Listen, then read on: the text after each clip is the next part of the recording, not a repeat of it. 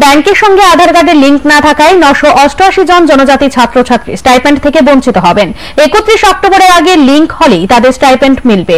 Agartala press ক্লাবে দপ্তরের অধিকর্তাকে পাশে বসিয়ে সাংবাদিক সম্মেলনে এই কথা ঘোষণা করলেন দপ্তরের সচিব ব্রিজেশ পান্ডে নয়া পোর্টালের মাধ্যমে স্টাইপেন্ডের জন্য আবেদন করতে গিয়ে এবছর জনজাতি ছাত্রছাত্রীদের স্টাইপেন্ড পেতে অনেকটাই ব্যাগ পেতে হচ্ছে। এখনও বহু জনজাতি ছাত্রছাত্রী স্টাইপেন্ড থেকে বঞ্চিত রয়েছে। তবে যারা স্টাইপেন্ড পাচ্ছেন না, সেই ছাত্রছাত্রীদের ত্রুটির কারণে স্টাইপেন্ড মিলছে না। এই ক্ষেত্রে দপ্তরের কোনো গাফিলতি নেই। রবিবার আগরতলা প্রেস ক্লাবে স্টাইপেন্ডের বিষয়ে স্পষ্টীকরণ দিয়ে একথা বলেন জনজাতি কল্যাণ দপ্তরের সচিব ব্রিজেশ পান্ডে সচিবের দাবি, ব্যাংকের সঙ্গে আধার কার্ডের লিঙ্ক না থাকায় নশো অষ্টাশি জন জনজাতি ছাত্রছাত্রী স্টাইপেন্ড থেকে বঞ্চিত থাকবে। একত্রিশ অক্টোবরের আগে লিঙ্ক হলেই তাদের স্টাইপেন্ড মিলবে। তবে দুই একদিনের মধ্যেই চোদ্দ থেকে পনেরো জন ছাত্রছাত্রী স্টাইপেন্ড পাবে। তারা ব্যাংকের সঙ্গে আধার লিঙ্ক করিয়েছে।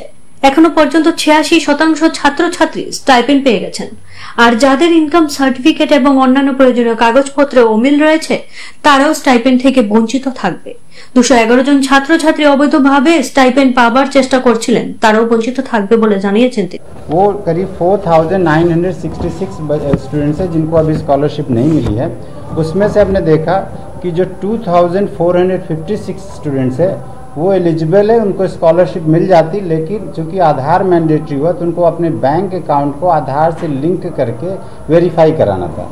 स्टूडेंट्स ने नहीं किया, इसकी वजह से वो स्कॉलरशिप जो पेमेंट हुआ तो फेल हो गया और वो पेमेंट नहीं हुआ। तो उसके बाद हमने रिक्वेस्ट किया बच्चों को कि आप अपना बैंक अकाउंट आधार से वेरीफाई करा लीजिए। ये एक्सरसाइज हुआ, इसके लिए हमने डेट भी एक्सटेंड किया और डेट एक्सटेंशन के बाद हमने देखा कि आउट ऑफ़ 2456 स्टूडेंट्स में से 1468 स्टूडेंट्स ने ऑलरेडी वेरीफाई कर दिया है। हमने पेमेंट के लिए ऑलरेडी प्रोसेस कर दिया है और वी हम लोग एक्सपेक्ट करें कि इसी वीक में, जो मंडे ट्यूसडे वेंसडे थर्सडे में से इनका पेमेंट ऑलरेडी प्रोसेस हो जाएगा और इस वीक में हम एक्सपेक्ट करें कि जो चौदह स्टूडेंट्स हैं, उनको स्कॉलरशिप मिल जाएगी। इसको मिलने के बाद करीब 90 परसेंट के आसपास स्कॉलरशिप डिसबर्स हो जाएगी। बाकी जो ये 2456 स्टूडेंट्स हैं, उसमें 988 ने अभी भी अपना अकाउंट वेरीफाई नहीं किया है। हम रिक्वेस्ट करेंगे कि उनकी रिक्वेस्ट पे जो हमने 15 दिन का विंडो दिया था, वो ऑलरेडी एक्सपायर हो गया। बट हमने एनआईसी दिल्ली में फिर बात किया है और उनको हम और 15 दिन का विंडो देंगे और वो अपना वेरीफाई कर সাংবাদিক সম্মেলনে উপস্থিত ছিলেন জনজাতি কল্যাণ দপ্তরের অধিকর্তা শুভাশিস দাস। তবে দপ্তরের সচিবের বক্তব্যের পর জনজাতি স্টাইপেন্ড নিয়ে যে ধরনের জট সৃষ্টি হয়েছিল, তার কিছুটা হলেও নিরসন হবে বলে মনে করছেন সচেতন মহল। ব্যুরো রিপোর্ট, দৃষ্টি।